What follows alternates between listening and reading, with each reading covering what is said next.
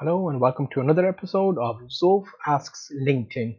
So I ask LinkedIn photography group. I'm part of the Canon EOS digital photography group and I ask them questions.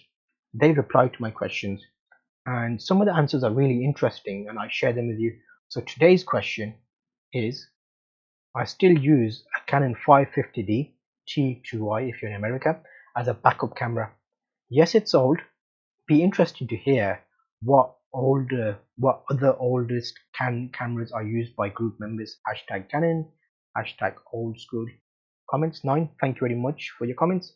So dana as long as they get the shots you want they are fine just fine they are just fine. 5d 3 and 7d that's a good setup there dana.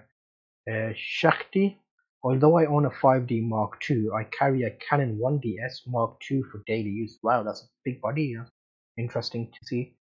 Um, thanks for the answers. Um, the oldest Canon I have isn't even a DSLR. Yes, Martin, that's what I was looking for. Some old school stuff.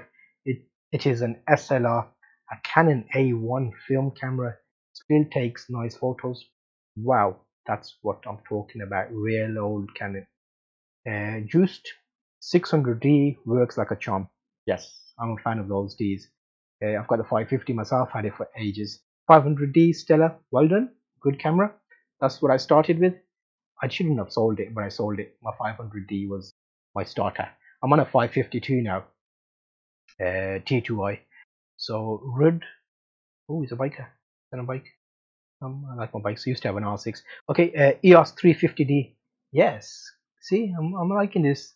Some old school stuff. Wild online. Still use my 550D linked with an IR trigger trap, infrared trigger trap. Interesting.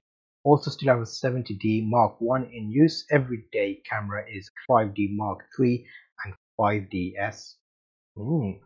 Love the Mark 3 but will replace later this year with the Mark 4. Always great to hear the 550D is still in use because I'm a big fan of the 550D. A lot of photographers started with 550Ds. Yes, they did.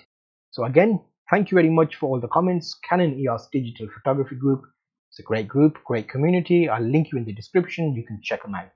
And I'll also link you to a few playlists so you can see the videos for yourself.